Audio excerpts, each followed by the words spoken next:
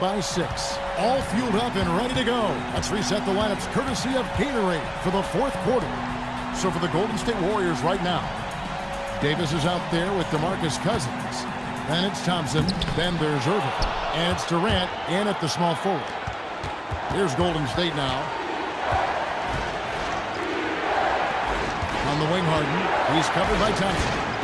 It's Harden with the drive. And Harden with the stuff. Yeah, just constantly attacking the paint. Harden does not settle.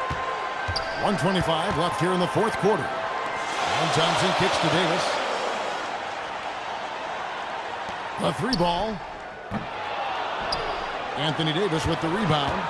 Warriors trail by four. Shot from 16. Jump shot is good.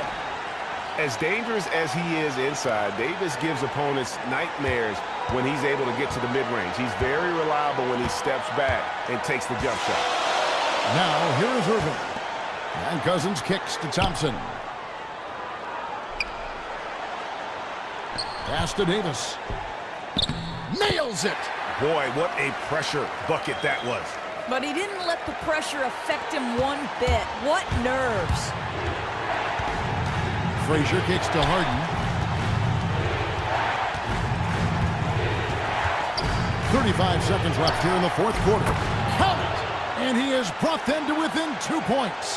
Oh, he is just so clutch, saving his best for when the pressure is at its highest. Irving for three. Pins the three. Man, that is a good one. Kyrie really just comes alive when the game gets tight. Time running low here. They have to score quickly and then foul immediately. Controls the rebound and puts it back up and in. Oh, how about the finesse there? Nice gentle touch on the board. And you know, when you have that gentle touch, those chip-ins are easy to come by.